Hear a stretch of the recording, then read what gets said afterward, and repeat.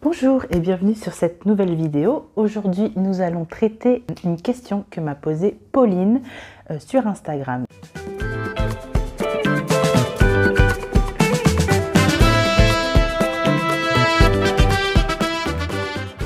Donc, comme je vous l'ai dit dans ma vidéo de la semaine dernière, vous pouvez tout à fait me poser vos questions sur Instagram et je me ferai un plaisir d'en faire une vidéo complète pour vous aider à avoir les plus belles plantes du quartier. Donc, je vais commencer par vous lire exactement sa question.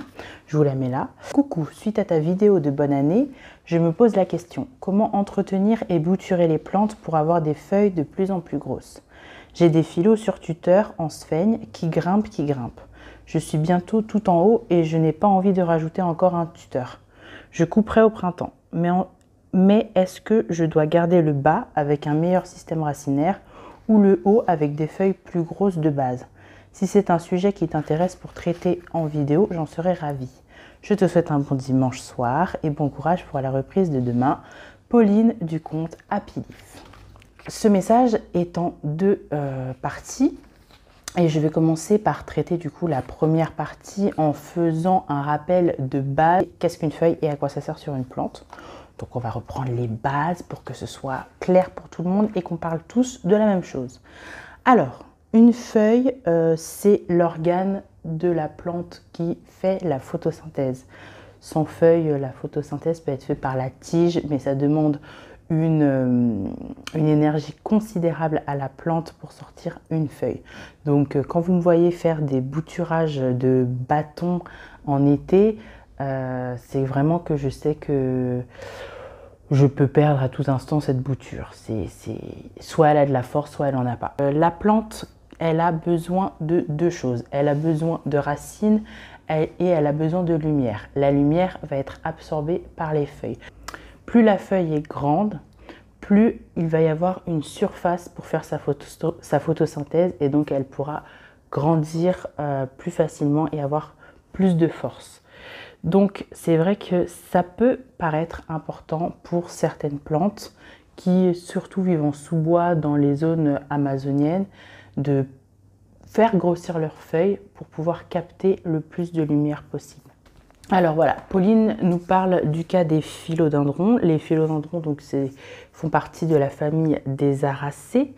Et euh, les aracées euh, sont des plantes qui peuvent grimper, donc qui sont à gravitropisme négatif, c'est-à-dire qu'elles peuvent faire des racines aériennes et c'est des plantes du coup qui vont avoir euh, la possibilité de faire grossir leurs feuilles au fur et à mesure de leur croissance parce qu'elles auront tout le long de leur tige un système racinaire qui va se développer. Alors pour que le, système racinaire se développe le mieux possible, euh, il faut évidemment que vous utilisiez, et elle le dit très bien, des tuteurs, parce que sans tuteur, la plante va d'abord ramper pour aller chercher euh, la lumière et pour pouvoir s'accrocher à quelque chose. Dans la nature, la plupart des aracées, et notamment les philodendrons, parce que philodendron, ça vient, de philo aimer dindron arbre, donc elles aiment les arbres et elles grimpent sur les arbres pour gagner en hauteur et gagner en luminosité ce qu'on peut faire nous dans nos intérieurs, et la seule chose d'ailleurs qu'on peut faire dans nos intérieurs, c'est leur offrir des tuteurs. Donc il va falloir euh, faire attention à la façon dont on, dont on fait le tuteur, de quoi on va le composer. Elle nous parle de tuteur en sphaigne. Alors je ne suis pas totalement pour le tuteur en sphaigne, pour être totalement honnête, moi je préfère que le tuteur soit de la même composition que le sol, euh, tout simplement parce que c'est plus facile pour les racines de s'implanter dedans. Euh, et l'humidité reste plus longtemps aussi à l'intérieur des tuteurs. Parce que ce qui est important dans un tuteur, c'est d'avoir une humidité constante pour que la plante puisse venir puiser aussi euh, des nutriments dans, donc, dans le substrat ou dans la sphaigne hum, pour faire croître les racines. Là, j'ai un cas typique. Euh, j'ai ma Monstera Mint qui d'ailleurs n'est plus réellement mint cet hiver, qui est plutôt Monstera Adansoni simple, qui m'a fait actuellement a des petites racines aériennes ici, mais elles commencent déjà à sécher parce qu'elles n'ont pas la capacité de rentrer dans le tuteur. Clairement, là, euh, mon tuteur ne sert pas à grand chose, étant donné qu'il euh, est déjà il est extrêmement sec et euh, il faudrait que je replace ma plante, mais c'est pas du tout le moment de la bouturer parce que ben, on évite de bouturer en plein hiver. Parce qu'aujourd'hui j'ai la chance qu'il fasse très beau mais si demain par exemple il pleut ben, ce sera d'autant plus difficile à la plante de puiser son énergie dans la, hum, dans, dans la luminosité pour pouvoir survivre sans racines. Donc j'attendrai, elle attendra bien gentiment le printemps pour refaire des racines aériennes. Alors pourquoi je ne suis pas vraiment fan des tuteurs en sphaigne Pour moi, une fois secs, ils sont très difficiles à réhumidifier. Euh, je trouve que ça peut être bien en hiver, mais après, moi, je vais privilégier surtout les tuteurages en substrat. Euh, typiquement, voilà, je vous remontre le cas de cette Mint qui a un tuteur entièrement en, substrat et c'est exactement le même que j'ai mis en bas. Donc je le compose de, terre, mais aussi de, coco, de sphaigne, d'engrais, de, l'osmocote précisément. Qu'est-ce que j'y mets encore dedans? Je mets du lombricompost, enfin tout, ce que je mets d'habitude dans, dans, mes substrats en fait. Euh, et puis vu qu'il y a de la terre et qu'il y a du coco, ça reste humide plus longtemps parce qu'il faut savoir que c'est des plantes tropicales. Et je vous répète assez régulièrement que qui dit plante tropicale dit humidité ambiante et que même si euh, ce sont des plantes qui dans la nature s'accrochent sur les arbres, il faut savoir que même les arbres dans les, dans les forêts tropicales ont une certaine humidité sur le dessus au niveau du tronc qui permet à la plante justement de faire croître les racines. comment on sait si notre tuteur est bon? Alors déjà si on voit apparaître comme je vous disais des racines euh, aériennes et si ces racines aériennes sont en activité. Comment on voit qu'une racine aérienne est en activité ou non? Une racine aérienne en activité va avoir la coiffe, c'est-à-dire le bout de la racine, d'un jaune très clair ou même presque blanc, voire beige. Et ça montre que la, racine est en croissance.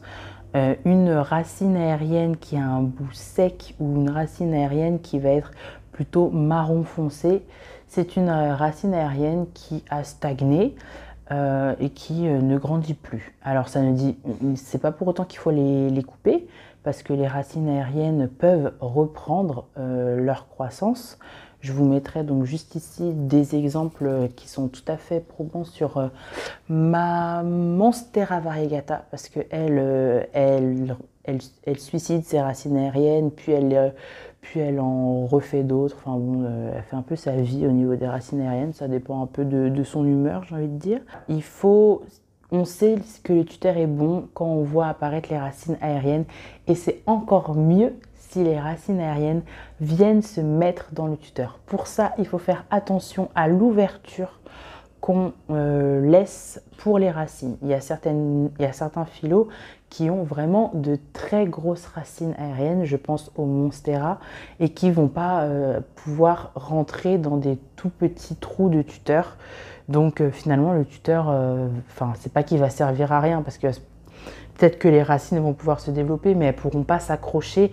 Et donc, euh, si ça ne rentre pas dans le tuteur, les racines ne pourront pas ensuite faire des radicelles et donc faire un système racinaire plus, plus dense.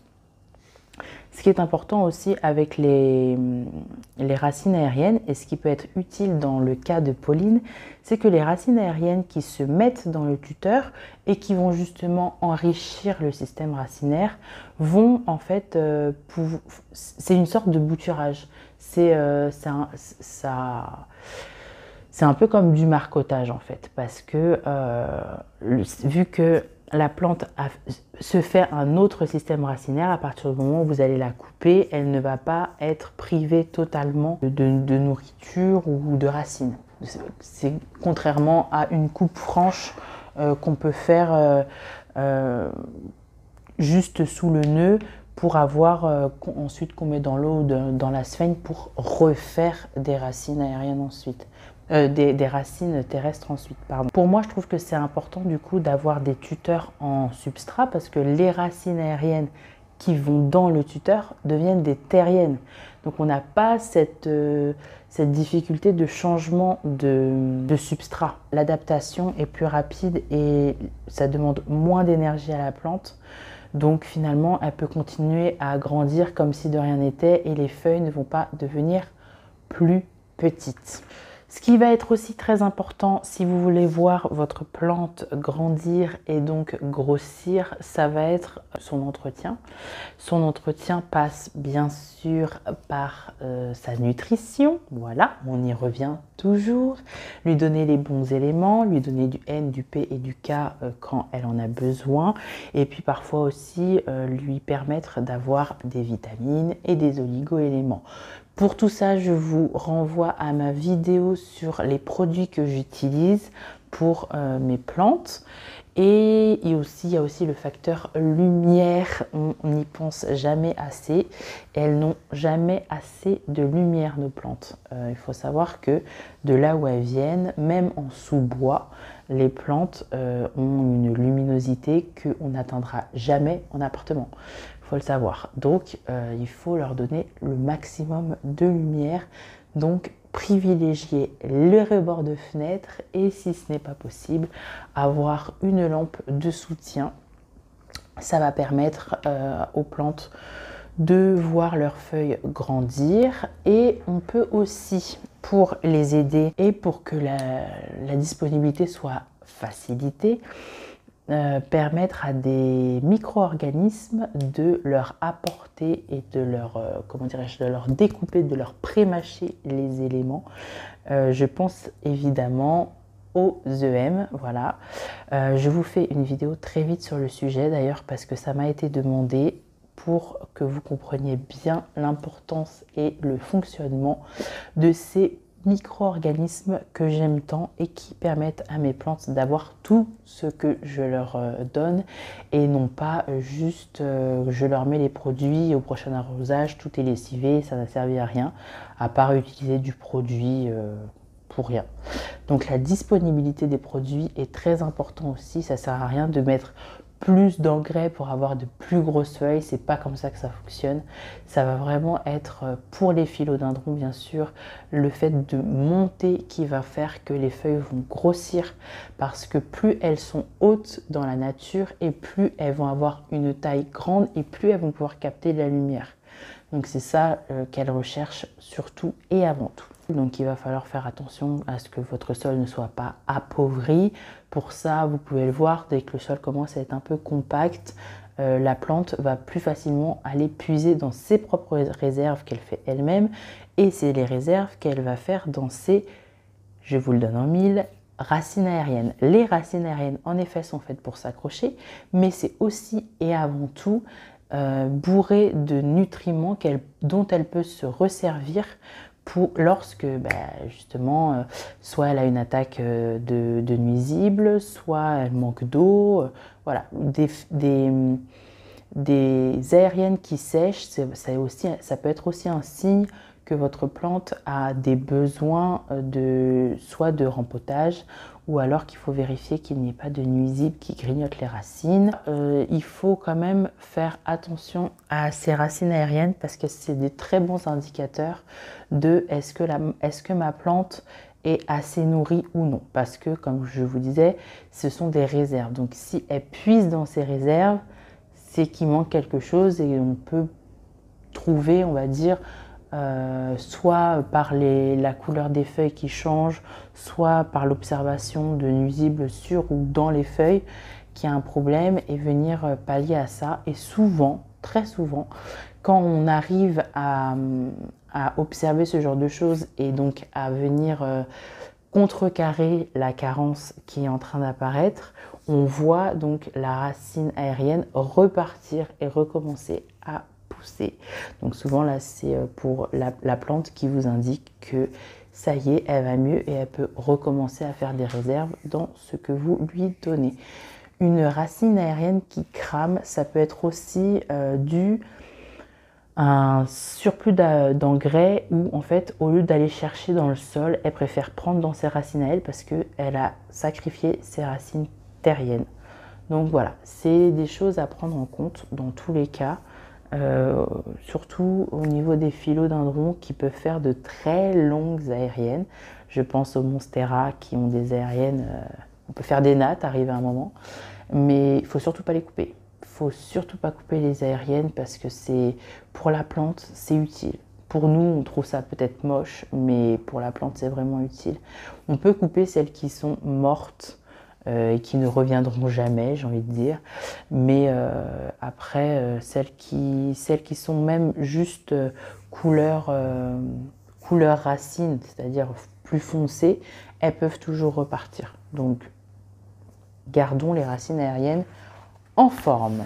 Pour revenir au cas de Pauline, ce que je peux lui conseiller, si elle veut bouturer sa plante au printemps, c'est de marcoter dès maintenant. Donc comment se passe un marcotage? Un marcotage, c'est le fait d'emprisonner plusieurs nœuds qui ont des départs de racines aériennes dans de la sphaigne et qui ne sont pas encore dans le tuteur. Si elle a déjà des, racines aériennes qui sont rentrées dans le tuteur, elle aura juste à couper euh, sous le nœud et finalement la plante ne subira pas, on va dire, un, bouturage agressif et les, feuilles pourront continuer à grossir alors que lorsqu'on coupe euh, et qu'on met dans, de la sphaigne ou dans de l'eau pour faire un bouturage, la plante va recommencer à avoir des feuilles juvéniles, c'est-à-dire petites, parce qu'il euh, lui faut déjà beaucoup d'énergie pour sortir les racines.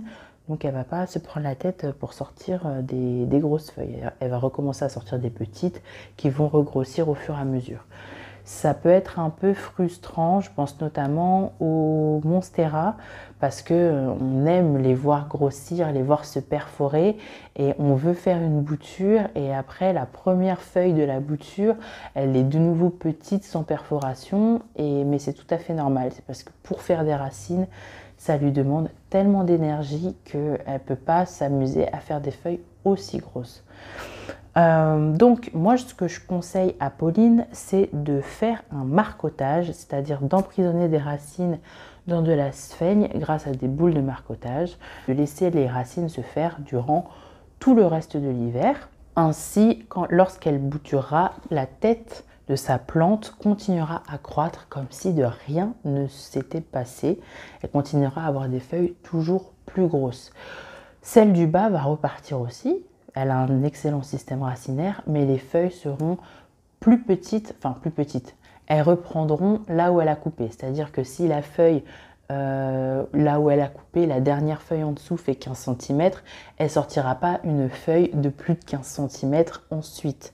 Voilà, parce qu'il va falloir quand même qu'elle refasse des feuilles, mais vu qu'elle a un bon système racinaire, elle repartira pas de zéro. Alors je conseille aussi de faire une bouture avec euh, quand même, euh, si possible, au moins 4 feuilles, voire 5 si c'est un marcotage.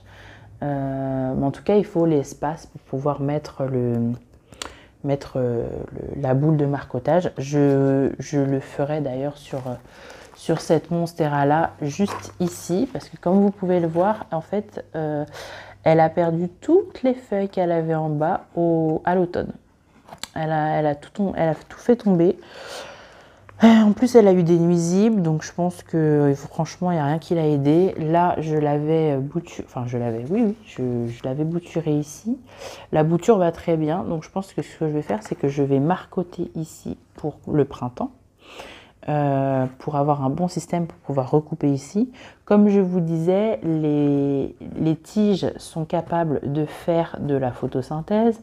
Donc une fois que le système racinaire sera bien fourni ici que j'aurai coupé, que je l'aurai replanté, euh, cette partie-là, je sais qu'elle peut repartir étant donné que là, ici, il y a déjà une petite tête qui sort et que je vais la booster avec du phytomar pour faire sortir davantage rapidement les têtes au printemps. Mais ça, ça attendra le printemps. J'essaye de pas trop manipuler mes plantes en hiver, de vraiment juste leur permettre de, pousser et de faire leur vie. Donc à part l'arrosage une fois par semaine, et encore, j'essaie de le faire quand il fait beau. Quand il fait pas beau, ça peut être une fois toutes les deux semaines.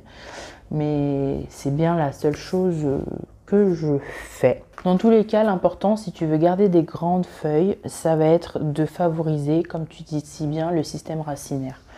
Donc, euh, en marcotant, tu vas dans tous les cas euh, permettre à ta plante d'avoir un système racinaire correct, qui pourra ensuite te permettre d'avoir une bouture de tête qui continuera à faire des grosses feuilles.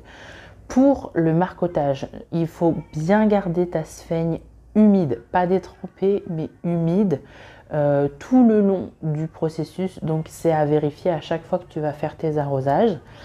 Et puis, euh, si tu n'as pas de boule de marcotage ou que ça ne ou que tu ne veux pas tout simplement investir dans des boules de marcotage, ce que je comprends très bien, euh, tu peux tout simplement, si c'est sur tuteur, mettre de la sphaigne, mettre de la sphaigne ici par exemple, et euh, installer ensuite du film plastique tout autour. Tu fais, des, tu fais des tours et des tours et des tours parce que ça va garder l'humidité et ça va te permettre de te faire un marcotage directement sur ton tuteur. C'est aussi une, solution si tu n'as pas de boule de marcotage. Tu peux aussi euh, prendre un vieux pot, alors pas trop grand, vous savez les pots de 6, euh, ouais 5-6 ça suffit. Tu le coupes jusqu'au milieu, tu mets de la sphaigne dedans et tu l'accroches pareil à cet endroit-là. Je l'ai fait avec un pot de faisselle euh, pareil, je vous insérerai des images, ce sera beaucoup plus simple. Euh, je l'ai fait avec un pot de faisselle, ça marche bien, mais alors le problème du pot de faisselle, et je pense que je ne le referai plus, c'est que ça a tellement de trous que tu passes ta vie à l'arroser en fait. Donc euh, clairement, c'est un peu relou. Donc je pense que la, prochaine fois, je prendrai un pot, un pot de yaourt. Prenez un pot de yaourt ou un petit pot de, oui, comme je vous dis, vous savez, les les pots des, plantes, euh, des toutes petites, des bébés plantes qu'on achète suffit très bien parce qu'en règle générale, c'est pas le genre de pot qu'on garde, mais gardez-en quelques-uns si vous voulez faire du marcotage, si vous voulez faire des boules de marcotage avec. Euh, si ça vous intéresse, euh, que je vous fasse une vidéo où je vous fais tous les petits, comment dirais-je, tous les détournements que je peux faire avec les trucs de recyclage pour les plantes, euh, dites-le moi en commentaire, ce sera avec plaisir. Vous pouvez aussi utiliser une bouteille d'eau. Dans ce cas-là, vous coupez votre bouteille d'eau, vous la coupez aussi, vous passez votre, euh, vous la coupez, voilà comme ça. Vous mettez votre sphaigne à l'intérieur. Vous, bien sûr, vous enlevez, le bouchon, on est d'accord. Et en fait, ça, ça va aller sur la tige. Donc ensuite, vous refermez. Vous, alors attendez, on la refait.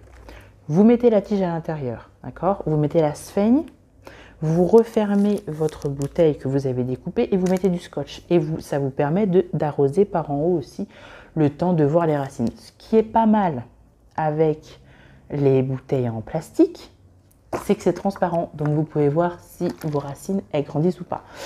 Euh, pour un tout premier marcotage, ça peut être une bonne idée. Euh, je devais vous faire d'ailleurs une vidéo sur le marcotage, mais après cette vidéo, je ne sais pas si ce sera utile. Dites-moi aussi en commentaire si vraiment vous voulez que je vous fasse toute une vidéo sur le marcotage, spécialement marcotage, mais je trouve que ce cas, euh, ce cas précis, donc le cas de Pauline, nous a permis de voir euh, davantage comment fonctionnait le marcotage. Mais euh, voilà, moi pour un premier marcotage, je vous conseille les, les, bouteilles en plastique. Si vous en avez déjà fait, que vous avez déjà investi dans des boules, mais que vous n'avez pas envie d'encore investir dans des boules de marcotage, je comprends tout à fait. Euh, vous pouvez prendre des pots de plastique, mais euh, je peux comprendre que vous n'ayez pas forcément envie de découper les pots transparents qui coûtent assez cher euh, pour pouvoir faire du marcotage. Donc la bouteille d'eau, c'est quand même une alternative fort sympa. Je pense qu'on s'est tout dit. Si vous avez aimé ce type de vidéo, et que vous voulez aussi me soumettre votre, votre problématique pour que je la traite euh, donc sur YouTube, n'hésitez pas à m'écrire juste là sur YouTube, soit euh, sur plantour.tv. non, m'écrivez pas sur YouTube, écrivez-moi plutôt sur Instagram. Je préfère. Pourquoi? Parce que sur Instagram, vous pouvez m'envoyer des photos. Comme vous avez pu voir, j'ai pu vous insérer les photos que Pauline m'a envoyées. Et si, je, si vous m'écrivez sur YouTube, on ne peut pas mettre des photos euh, dans les commentaires. Donc le mieux, c'est que vous écriviez sur Instagram. Pour ça, vous avez deux possibilités. Vous avez la possibilité de mon compte professionnel 4 feuilles et le compte euh, ben, de la chaîne YouTube, donc plantour.tv. Alors bien sûr, mettez-moi aussi si vous voulez que votre prénom et votre nom de compte Instagram apparaissent. Je peux très bien faire ça anonymement.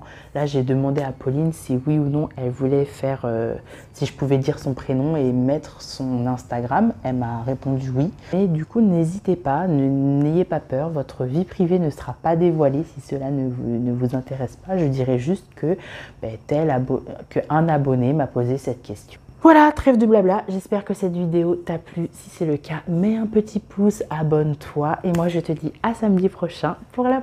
À samedi prochain, oui, c'est ça, pour la prochaine vidéo. Bye bye